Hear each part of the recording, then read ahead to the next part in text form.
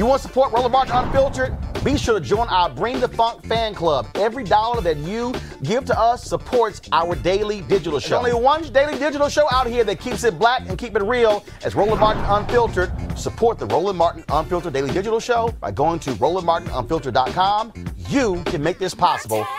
Unemployment rate in the U.S. has risen to 14.7%, folks, with 20.5 million jobs lost in the month of April alone as a result of the coronavirus pandemic. That's what it looks like for everyone, but we're looking at what it looks like for African Americans. Joining me now is Gbenga Ajilore, senior economist at the Center for American Progress. Progress. All right, sir, what are we looking like? Um, that's overall black folks higher and Latinos higher? Yes, very much so. So black folks is up to 16.7% from 6.7%. And then for Hispanics, it went up to 18.9%, a jump of 13%. Wow. And so uh, now, folks are already talking about May, June. I mean, this is not going to be a one time bump. How long uh, do economists like yourself think we're going to be dealing with this high level unemployment? It's actually really hard to figure out because of this is a public health crisis and we've been you know quarantining for two months but the administration hasn't done anything. Congress hasn't done anything in terms of testing or contact tracing and doing all those stuff to actually try to combat this public health crisis. So the longer this public health crisis is going to last the longer this economy is going to get worse. Um, and uh, with that uh, obviously even with a slow rollout that doesn't mean people are going to be coming back but here's the deal. You could you could open your business you can talk, talk about doing hair, doing nails, restaurants, whatever. But if the customers say, hey, I'm not messing around with this coronavirus stuff, you're not going to have employees, employees coming back. Exactly. And one of the kind of sad things about this is that people are actually being forced back to work because a lot of these states, Georgia, a lot of these southern states, they put people back because they want to get people off of unemployment insurance. Because if you open up the economy and then you say you have to go back to work and you don't go back to work, then you become ineligible for unemployment insurance. And people are worried, rightfully so, of going back to work and catching this coronavirus because we aren't tackling this public health crisis. And on that particular point right there, when you talk about, uh, because again, if you have to make an economic decision, it's real simple. If I know I'm getting this in unemployment, but then if I go back, but then they cut my hours and cut it way back down, no, economically, it makes sense for me to stay on unemployment. Not just economically, health wise. I mean, we have over 75,000 deaths, over 1.2 million cases, and it keeps increasing. Because what I, people seem to forget, this is about health, people, people's lives that we're talking about. And so, yeah, if you want to go back and work, then you're going to take that risk. But you actually need to stay home. So we want people to stay home. We want businesses to temporarily uh, lay people off and have furlough so that once we tackle this once we combat this public health crisis, then people go go back to their original job, and then we can get the economy started again. But we have to tackle tackle this coronavirus first. Um, what do you make of, of, the proposal by Senator Kamala Harris, uh, which says, "Look, give Americans two thousand dollars a month"? That's a very important plan because we had that twelve hundred dollars, but we know that doesn't not going to last. Even in small cities, that's not going to last a long time. We have people who are losing their jobs, but they still have to pay rent. They still have to pay their bills. There's you know not enough places are doing moratoriums on that, and so people are going to need this money for as long as this thing's going to last. Because we talk about fourteen point seven percent. That's the highest unemployment rate since the Great Depression. So it talks to, tells us about how deep this is. And so to help people through, to keep paying their bills, to put food on the table, things like that, then you're going to have to have some sort of kind of process or some policy to have direct payments that's going to be continuous, not a one-time payment, but continuous payments. But I don't necessarily think we're going to have we have a Congress that actually has those guts. Even though you have some Republicans, like the senator out of Missouri, who's been making that particular point, who also has been saying you should be giving direct payments uh, to people, yes. especially businesses.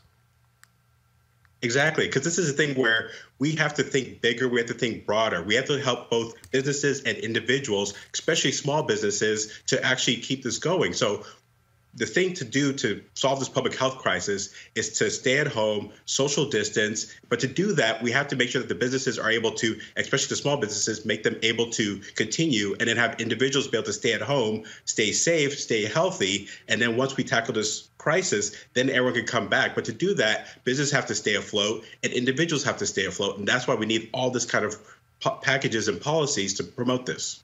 All right, Benjamin Ajilore with the Center for American Progress. We appreciate it. Thanks a bunch. Thank you very much. All right, folks. Want to bring in my panel for today. Uh, bring back Robert Patillo, Dr. Niambi Carter, uh, Howard University Department of Political Science, and then we'll soon be joined by Derrick Hollie, of course, president of Reaching America and political analyst as well. Uh, Dr. Carter, I'm gonna start with you. Looking at these numbers, look, these are these are real, and bottom line is this here: business owners are, are unsure. Folks are saying, "Wait a minute." I like, in fact, I know there's a, uh, there's a, there's a woman who I know. She has a, she has a business, a spa business, and the mall said, "Y'all got to reopen." She said, "My customers are not ready to come back," and so she turned in her uh, gave her money gave her money for that particular month and said, "I'm out of this lease in 30 days." So business owners are saying it, it, doesn't make sense economically for me to open up. I'm bringing employees back on the payroll. I'm having to pay them if I don't have any customers. Well, absolutely, Roland. I mean, and what is the point of opening your business if you're going to kill your customer base? I mean, quite frankly, this is reckless and it's dangerous. And I think when we're talking about the health effects, we have to also know that our, our communities are at particular risk. So this kind of stuff is is going to be um, we have to think more critically about this. It's more than just the the money that uh, we are losing as business owners and as communities. It's also about the ill health effects. And when you look at African American communities, we're usually the folks on the front line. We're a lot of the folks in service economy and other things where we're actually in more frequent, more intimate contact with people. I mean, I have members of my family who are hairdressers, right? They're not working either. But to go to work right now is going to put themselves at risk and also the families that they have to go home to. So I think it's, it's a short sighted strategy, as Banga was just mentioning, uh, earlier um, to sort of say we have to open up, we have to open up, and we still have a health crisis that we are nowhere near uh, having under control. Uh, let's go to uh, Derrick Hollie. Derek, what do you again make of what the heck is going on here? Uh, with, I mean, we're dealing with an economic calamity, uh, the significant amount of money that has gone towards uh, folks' uh, big business, and but if you don't deal with businesses and you don't deal with this, we these unemployment numbers are real. And you, you're talking about, you know, 14, 16, 18% for folks over the next two, three, four, five months. Oh, it's going to be hell to pay for any politician come November.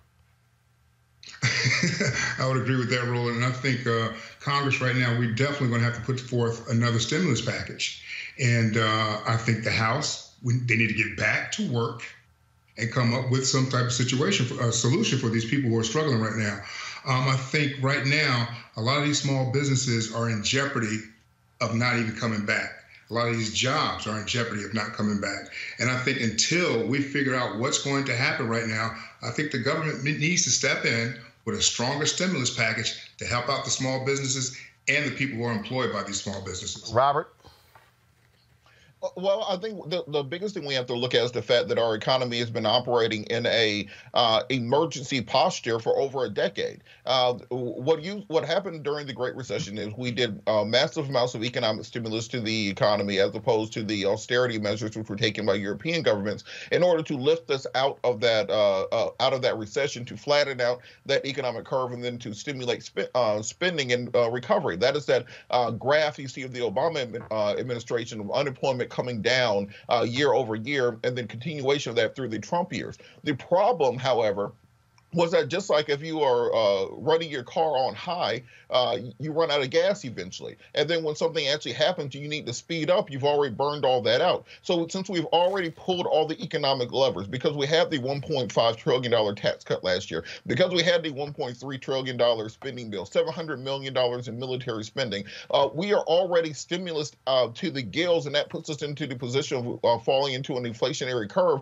through more spending. So our Congress has to come up with some actual um, stimulus ideas that will affect the regular American, uh, regular Americans or regular small businesses, as opposed to simply being giveaways where we're getting Ruth Chris and state check uh, 10 and 20 million dollars, and the airline industry can walk in uh, and just ask for 28 billion dollars and walk back out the door. We have to have a targeted stimulus plan and not just get hustled again like we got on the last two um, stimulus bills, and have something that's targeted um, at regular people and not simply get a giveaway to corporations. Because when they got those tax cuts last year, instead of investing in the infrastructure, instead of investing in employees, instead of putting money away to have a uh, a rainy day fund, they tell all of us to have a six month rainy day fund in case something happens. They invest that into stock buybacks, artificially inflating the value of their stocks, and then cashing out on it. So we have to make sure we put guardrails in place so we do not end up in a similar situation and that we're able to pull ourselves out of this economic tailspin. Uh, but the, here's the deal. This is what happens, uh,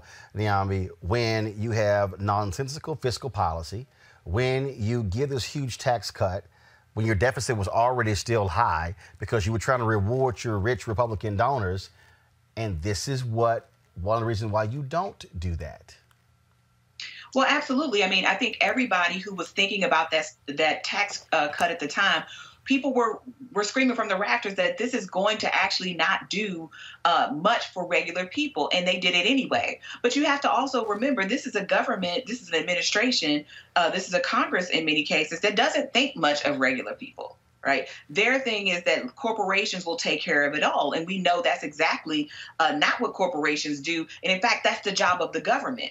But we have a government that is intent on shirking its responsibilities to its citizens. And that's fiscally, that's in terms of, of health policy and every other way. And so these are the kinds of outcomes we can get. The answer to every question is always, well, the corporations need to be saved. I mean, and it's not unique just to this administration. I mean, we've seen it before with the banks that were too big to fail. We see this time and again, and it's the American people that have to bear the brunt of this and have to pay the cost of it over the longer term every single night. We've got some of the top black experts. You're not going to see them on cable news or broadcast news because you swear black people aren't experts when it comes to this health crisis. That's why we have this show and why we do what we do every day on Roland Martin Unfiltered. Joining us right now is retired General Russell Honore, the nation's first black Surgeon General, Dr. Joycelyn Elders. John Hope Bryant, he's the founder of Operation Hope. Senator Kamala Harris of California, Dr. Cedrina Calder, retired General Lloyd Austin, Congresswoman Karen Bass, Commissioner Omari Hardwick, Bureau President in Brooklyn, Eric Adams, Dr. Joseph Graves, America's Wealth Coach Deborah Owens, Dr. Corey Hebert, Patal Salt uh, Howard University student, Pastor Jamal Bryant, a doctor, uh, Christy McDowell, Gbenga Ajilore, senior economist at the Center for American Progress, Gilda Daniels, again, author of the book, The Crisis of Voter Suppression in America. Four stars, uh, General Kip Ward. Dr. Oliver Brooks is president of the National Medical Association, president of the American Medical Association, Dr. Patrice Harris.